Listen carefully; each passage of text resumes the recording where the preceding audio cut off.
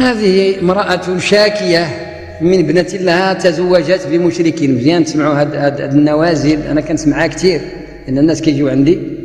باش تعرفوا يعني أحوال المسلمين فين وصلت لي بنت تزوجت بمشرك ودخلت معه في دينه لأنها لم تصوم رمضان ولم تصلي وتشرب الخمر إلى آخره. فلما نصحتها أن هذا لا يناسب عقائدنا الإلهية طاردتني من بيتها وسبتني أمام الناس وقطعت رحمي رغم أنني أنا الأخرى تبرأت منها في الدنيا والآخرة. ما عاقبة هذه العاقة وهل لي إثم في قطع رحمها؟ أش من رحم عند هذه؟ بقى عاد أنت كتسولي واش قطعتي الرحم ديالها؟ وشكون اللي كيقطع الرحم؟ البنت اللي كتقطع الرحم ماشي الأم. الأم تزار ولا تزور. الأم هي كيزورها الناس. يزورها أولادها. ماشي هي تتقلب على أولادها باش تزورهم.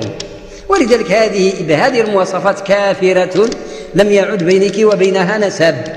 ما تورثك شيء وما تورثيها شيء. ما بقاش بينك وبينها الصله اللي لا ديال الدنيا ولا ديال الآخرة. لا ديال الدنيا ولا ديال الآخرة. فمن ارتد عن دينه فقد كفر ولا نسب له بعد ذلك. ما بقى له نسب ما بقاش ديالنا. هذا ما بقاش ديال المسلمين في الخطرة والعياذ بالله. باش تشوفوا هذه الحالة والعياذ بالله هذا الشيء راه ولا كثير كثير كثير مع الاسف ظواهر ولات كتوقع. ان واحد العدد ديال الفتيات كيتزوجوا بالكفار. واخا كيديروا ديك شهادة إسلام مزورة في كثير من الاحيان كاين كاين اللي كيسلم حقيقة. إذا ثبت إسلامه بالحق راه مسلم آه فإن تابوا وأقاموا الصلاة وآتوا الزكاة فإخوانكم في الدين.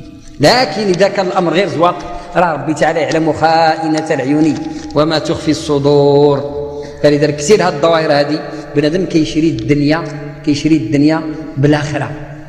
بنيتو كيشريها باخرته اللي قرر هذا القرار راه كيتحرب مع مولا اللي خلقه هذاك الشيء شغله بنادم يعطي النصيحة لكن ما توصل بحال هذه الحالة. كاين القطيعه التامة.